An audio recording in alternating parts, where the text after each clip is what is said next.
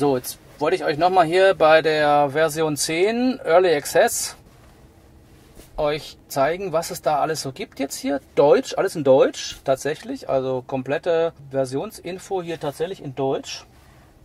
Und ja, das Wichtigste ist tatsächlich äh, Cuphead in Tesla Edition, ein neues Spiel. Äh, guckt mal nachher kurz rein. Also ich glaube, so ein Spiel brauche ich jetzt nicht. Ich habe schon gesagt, das Schach war super. Ich würde jetzt noch gern so Mühle, Dame und sowas und ähm, äh, irgendwie Mensch ärger dich nicht oder so haben. Ähm, Nochmal so Action-Spiele habe ich jetzt, wollte ich als nicht. Also ich glaube, der Beweis nur dafür, dass das Auto das kann. Dann da gibt es das Karaoke. Das probieren wir jetzt auch nicht aus. Also Karaoke mit K ist ja bei uns, also hier in Deutschland auch nicht so tolles Thema, aber äh, irgendwie ist es cool, ist es sicher schon. Ja, ich weiß auch nicht. Nee, gucken wir mal weiter. Also die Fahrdarstellung, das haben wir hier drüben schon gezeigt. Das kann ich glaube ich auch zeigen, ne? wenn ich das hier wieder einschalte, aber das machen wir mal. Spurwechselassistent, nee, ihr könnt euch das da in den Fahrvideos angucken. Ich habe jetzt schon zwei Fahrvideos aufgenommen mit der Version 10. Da kann man das angucken, wie man da dran rumspielen kann. Und auch die schöne Spurwechselanzeige jetzt ist auch ganz toll gemacht, um darzustellen, was das Auto da so erkennt oder was gerade wichtig ist, wenn man den Spurwechsel ausführt. So, das hier können wir gleich auch mal ausprobieren. Hungrig oder bereit für eine Überraschung. Aha, das heißt bei uns hungrig und auf gut Glück. Im Original heißt das ja irgendwie hungry und lucky. Auch nicht schlecht. Gucken wir mal, was da bei uns schon kommt hier in Deutschland. Dann ist die Karten-App verbessert worden. Kann man auch mal bei der Suche probieren. Und die Dashcam ist verbessert worden. Ja. Äh, da werden jetzt mehr Kameras verwendet. Und was auch wohl ist, bei dem Wächtermodus wird jetzt auch, erstmal wird es in ein separates Verzeichnis gespeichert und auch die hintere Kamera jetzt auch verwendet. Aber hier steht sogar bei der Dashcam werden jetzt noch mehr Kameras verwendet. Das, ist, das führt natürlich auch dazu, dass man noch mehr Speicher verbraucht. Also das muss man sich dann mal angucken. Doch eine ganz schöne Festplatte dann dranhängen. Und hier ist auf jeden Fall der Speicherüberlauf ist jetzt auch abgeschaltet bei 5 GB. Hört er auf und dann löscht er doch auch die alten Einträge, okay. Ja, muss man natürlich gucken, muss man irgendwann die Daten sichern, wenn man die wirklich behalten will. Das muss man nochmal checken, wie man das hinkriegt. Ob er, bei der Dashcam ist ja so, die gespeicherten soll er nicht überschreiben. Ansonsten rolliert es ja schon. Wie das bei dem Wächtermodus dann ist, muss man sich mal angucken. Also er schreibt es hier einfach, ältere Wächterclips werden automatisch gelöscht. Das heißt, ich muss mir die woanders hinsichern. Und der Joe-Mode gibt es. Der Joe-Mode zeigen wir auch noch. Da gibt es ja tatsächlich einen Joe, der hat gesagt, hey, es ist zu laut hier im Auto, wenn ich irgendwas einschalte. Zeigen wir euch aber gleich. Und das kann man jetzt ein bisschen dämmen, die runterdämpfen, die, die Töne, aber nur eine Stufe, indem man nämlich den Joe-Mode ein- oder ausschaltet. Das muss man natürlich jedes Mal, wenn man das in den Einstellungen sieht, wissen, wer dieser Joe ist. Ja, der hat an Elon Musk scheinbar getwittert, hey, das ist mir zu laut. Und dann hat Elon Musk gesagt, okay, ich werde das mal checken und beheben lassen. Der Software-Update-Vorgang soll auch verbessert werden. Man sollte jetzt eigentlich vorher schon sehen, was man da zum Installieren bekommt. Den Fortschritt. Aha, also wenn man dann im Auto sitzt, ich habe ja schon mal ein Video gemacht, da saß ich im Auto, da passieren ja die wildesten Sachen dann da auf dem Bildschirm, kriegt man ja richtig Angst. Äh, das soll jetzt wohl irgendwie besser sein und ich dachte auch, dass man vorher sieht, wie die Release Note schon ist. Das steht hier nicht so richtig, aber es könnte sein. Bluetooth Media Verbesserung, das habe ich jetzt noch gar nicht gehört. Okay, da haben sie auch was gemacht. Da muss man schon iOS 13 haben, wenn man was machen will. Albumcover und so weiter. App Launcher verbessert und Fahrerprofile wird auch irgendwas gemacht. Ja, müssen wir mal ausprobieren, was da jetzt noch ist. Zusätzlich zu den Speicher viele andere Einstellungen. Aha, da sollten sie mal eine Liste rauslassen. Müssen wir mal in Help, Help vielleicht mal gucken, was da alles gespeichert wird. Weil es waren ja leider ein paar Sachen immer über, die nicht gespeichert wurden oder nicht fahrerabhängig war. Mal sehen, ob sie da Änderungen gemacht haben. Das ist aber jetzt, können wir im Rahmen von dem jetzt nicht rauskriegen. Das ist wahrscheinlich muss man mal echt ausprobieren oder in den Help gucken. Ja, gehen wir mal ein bisschen ein paar Sachen durch. Erstmal die wichtigsten, ne? der Joe-Mode. Sollen wir den Joe-Mode mal ausprobieren? Joe-Mode findet man nämlich hier unter Sicherheit, habe ich jetzt gelernt. Und da ist er. Im Moment haben wir den Joe-Mode aus. Und wir haben festgestellt, wenn wir im Drive sind, ich gehe mal hier auf Bremse Drive und jetzt machen wir mal die Tür auf. Da hört ja dieses schöne Piepsen und es ist natürlich viel zu laut. Mach nochmal auf. Und ich kann nämlich jetzt den Joe-Mode aktivieren. Seht ihr, ist viel leiser.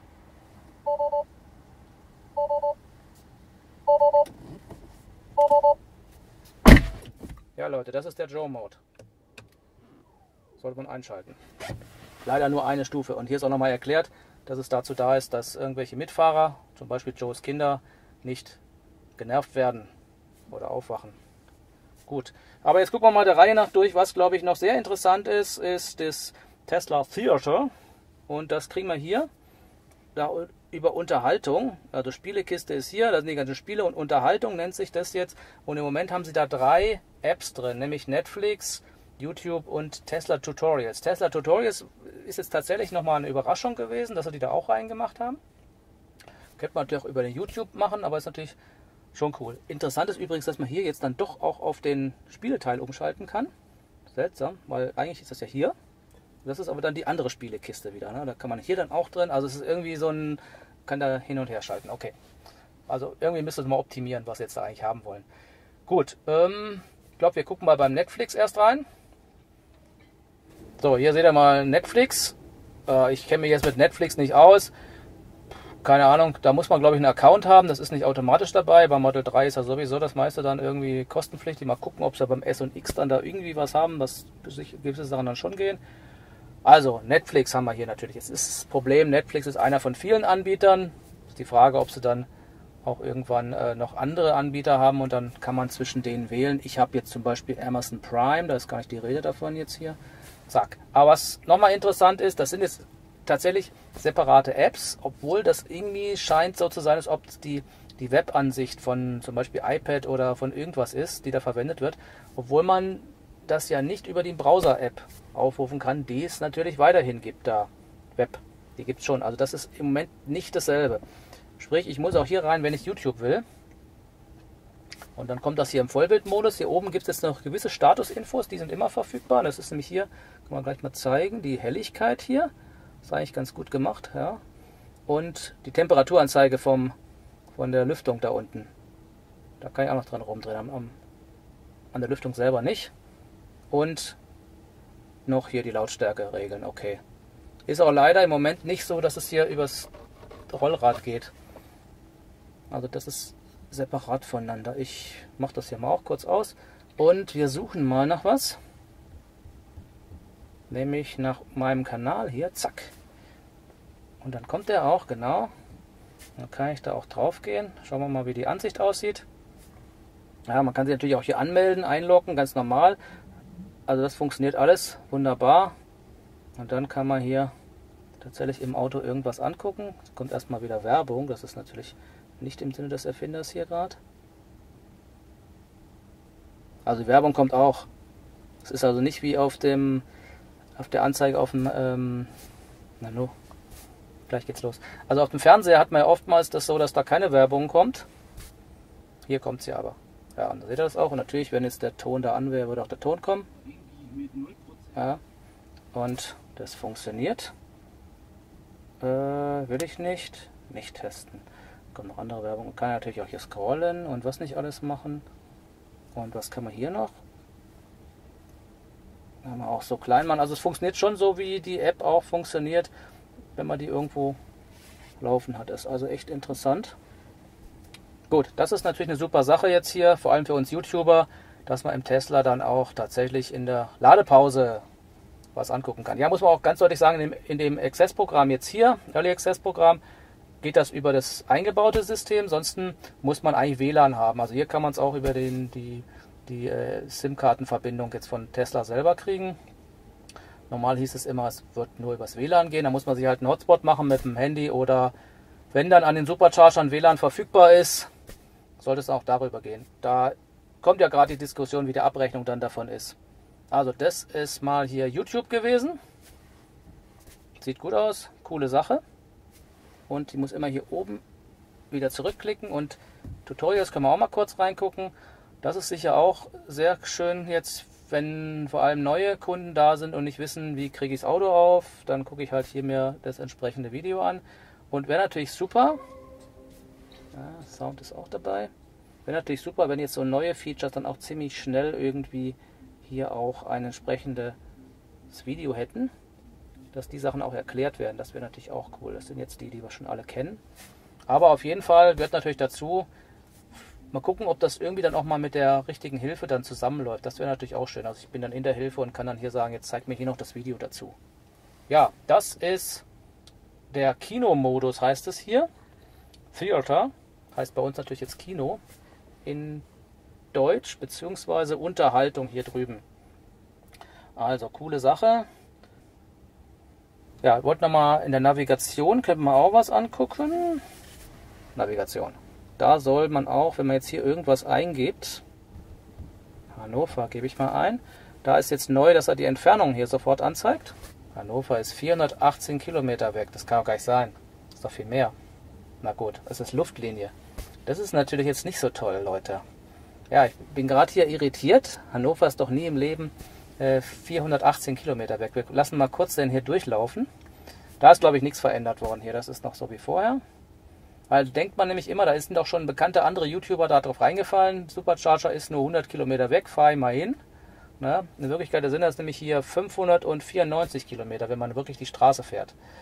Okay, aber das nur mal so nebenbei. Also, okay, das ist jetzt hier scheinbar eine Verbesserung gewesen.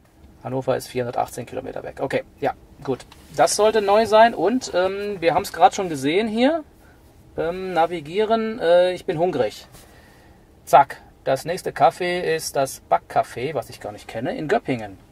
Ja, okay. Das ist jetzt interessant. Ähm, ich muss mal hier abbrechen, weil das ist definitiv auch nicht gerade um die Ecke, aber immerhin.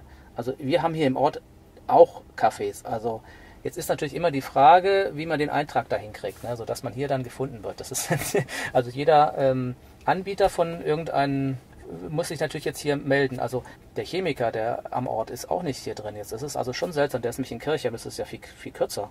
Also, die sind total dabei und haben sich hier schon gemeldet, sodass sie hier jetzt kommen. Interessant. Ähm, gut Glück. Da müssen wir ins Kunstmuseum nach Stuttgart. Okay. Ja, also es funktioniert. Äh, die Sinnhaftigkeit ist natürlich ein bisschen die Frage. Aber es funktioniert so. Ja gut, da muss man definitiv an der Datenbasis nochmal arbeiten. Gut, das war die Funktion. Infos und so weiter. Genau, man sieht auch hier schon die schönen neuen Infos dazu, falls es Infos gibt. Das ist auch gut gemacht und kann direkt anrufen sogar. Oder ins Internet auf die Seite und so. Aber das ist auch nicht schlecht gemacht. Ja, was haben wir noch? Die Anzeige habe ich eigentlich schon mal gezeigt hier vom Auto, wenn man hier im Drive-Modus ist. Oh, er zeigt sogar was. Neben uns stehen Fahrzeuge. Das ist jetzt neu. Leider ist es für das, für das Parken jetzt nicht so gedacht. Mal hier den ausschalten, so halt, so. Aber wenn was um einen rum ist, sieht er das sogar. Da steht übrigens mein Model X, das sieht er nicht. Und, na, das wollte ich jetzt auch nicht. Kann hier so schön das irgendwie rumzoomen sogar. Ja, also da sieht man mal, wie schön die Sachen eigentlich gerendert werden. Oh, hinter uns steht auch was. Das ist auch nicht schlecht. Gut. Ja. Coole Sache. Im Parken kann ich das allerdings nicht. Da bleibt das auch. Schön. Haben wir irgendwas vergessen, was jetzt wirklich wichtig war? Wir müssen unbedingt noch die Cupheads angucken. Wo ist jetzt der Karaoke? Der Karaoke ist in der Musik. Äh. Den kannst du auch während dem Fahren nehmen. Oh, oh, während des Fahren kann ich singen. Okay. Die Texte werden, glaube ich, während dem Fahren dann nicht angezeigt. Ja, ja, das habe ich auch gehört, dass man nicht mitsingen kann dann. Also man kann schon mitsingen, wenn man den Text auswendig kann. Also hier würde jetzt irgendwie es mal kommen irgendwann. Ja, die kommt jetzt da und ich schalte die mal stumm und dann müsste ja trotzdem der Text kommen. Ja, kommt auch der Text. Und dann soll man jetzt natürlich hier eigentlich mitsingen dann. Genau, so funktioniert das. Darfst das. du nicht 8 Sekunden zeigen, bevor... Was? Dass ja, du ja. 8 Sekunden auf YouTube zeigen? Aber ich mach's lieber nicht. Und, also das, das hier ist, glaube genau. ich, dieses äh, Texting. Und äh, das kann man eben nur anschalten, ja. wenn man parkt ah, und wenn er fährt. Soll ich mal gucken hier? Ich mach mal, mach's mal an. Mhm. So, jetzt läuft's. Und wenn ich jetzt einschalte, dann will er nicht mehr. Genau. Jetzt muss man. Genau. Also das funktioniert. Okay, cool. Ja, also wer auf Karaoke steht, der kann das hier machen. Ähm, müssen wir, glaube ich, nicht näher drauf eingehen. Ich habe jetzt noch nie was mit Karaoke gemacht. Soll ja, äh, da soll man ja total drin aufgehen können. Und auch äh, du, ein, ein, Duett soll auch gehen. Wenn es hinterlegt ist, so mit zwei Stimmen oder sowas. Okay. Soll alles gehen. ich bin aber kein Karaoke-Experte. Ich würde lieber nochmal das Spiel sehen, ne, wenn überhaupt hier. Also Spiele muss ich aber erst in die Spielekiste und dann, dann kommt eigentlich das. Okay, und hier haben wir, aber jetzt die anderen sind noch gleich. Und das ist ein Update, okay. Und dann gibst dir den Cuphead, tut er? Macht er was? Der will gerade anscheinend. Oh, der will ein Update, dann will er, kann er gar nicht mehr, ne? Weil so ohne Update Also. lief es schon mal. Ja, also äh, Cuphead kriegen wir gerade nicht hin hier. Es lädt zwar, aber es dauert eine Weile und so lange können wir wahrscheinlich nicht warten. Und ähm, ja, und normalerweise steht da so, ein- so ein Spieleknopf da unten und dann geht's. Und da hat sich jetzt auch nichts geändert bei den Sachen hier. Die sind so wie vorher und werden wahrscheinlich auch sukzessive erweitert um weitere sinnvolle Spiele. Also die anderen hier, die haben mir alle nicht so gut gefallen. Das erste, was mir wirklich gefallen hat, ist eigentlich hier oben, also Schach auf jeden Fall. Und der Beach Buggy war auch ganz cool, obwohl ich, ich konnte nicht richtig bedienen. Und keine Ahnung, warum sie das jetzt machen mussten. Ja, da werden sicher noch mehr kommen. Und äh, wie gesagt, ich, ich habe noch eher so Strategiespiele, würde ich jetzt nochmal nehmen. Hier ist übrigens auch super, habe ich aber schon mal gesagt, dass der hält auch den Spielstand, sodass man dann von Supercharger zu Supercharger kann man dann weiterspielen. ist eigentlich ganz nett gemacht.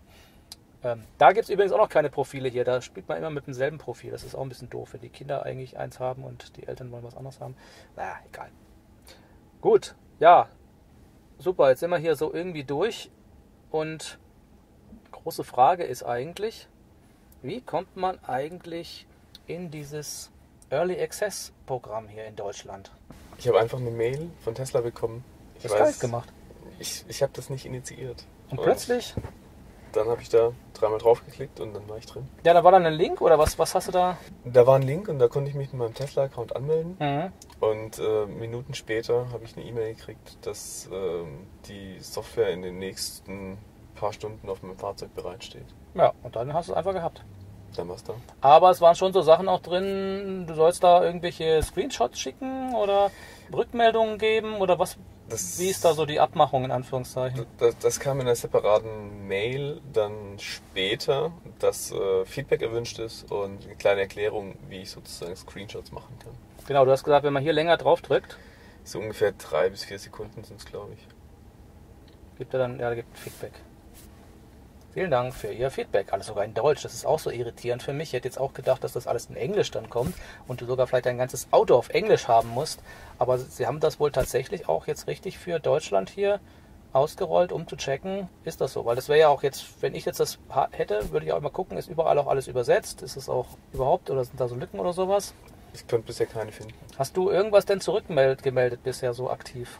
Ich habe noch nichts zurückgemeldet. Äh, Es, es, es gibt so eine Stelle in der Navigation, bei der es allerdings auch sein könnte, dass ich in, in, in diesen, ja, in diesen Bezahl, in diesen Mautbug reingeschlittert bin. Das müsste ich nochmal austesten und wenn sich herausstellen sollte, dass das nicht der Fall ist, dann Aber schon sehr spezifisch das dann. zu ja. melden, Ja, ja. Und diese Screenshots, die man hier macht, die landen auf dem USB-Stick. Es wäre natürlich schön, wenn das immer gehen würde. Und die ähm, musst du dann aber auch irgendwie aktiv an Tesla schicken. Also ich denke, das kann man dann einfach der Mail anhängen. Ja. Und ich bin mir auch nicht sicher, ob die Screenshots in der normalen Version ähm, deaktiviert sind, weil ich habe sozusagen die Information, wie man diesen Screenshot macht, ja erst seitdem ich diese Early Access Version installiert habe. Also probiert mal, ob ihr das auch hinkriegt, genau. Sind die dann auf dem Stick einfach in einem, im Root oder wo landen die? Haben die auch ein spezielles Verzeichnis? Das kann ich jetzt gerade gar nicht sagen. Ja, okay. Check mal nochmal, vielleicht kriegen wir es noch raus. Aber ist auf jeden Fall eine, eine tolle Sache, weil ich mache ja oft hier Fotos vom Bildschirm, so mühevoll.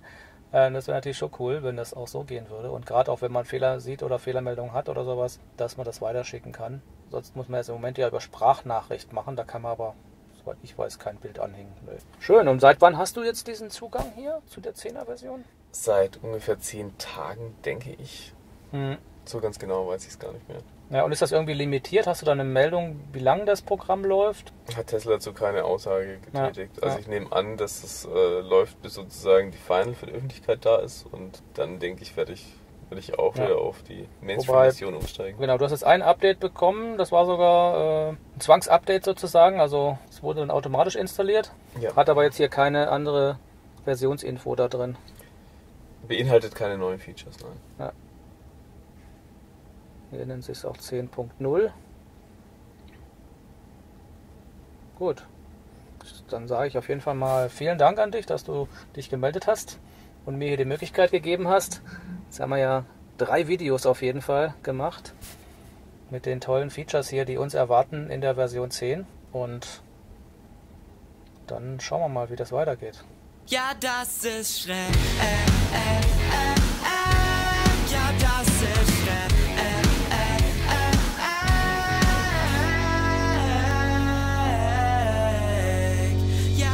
Das ist Schreck.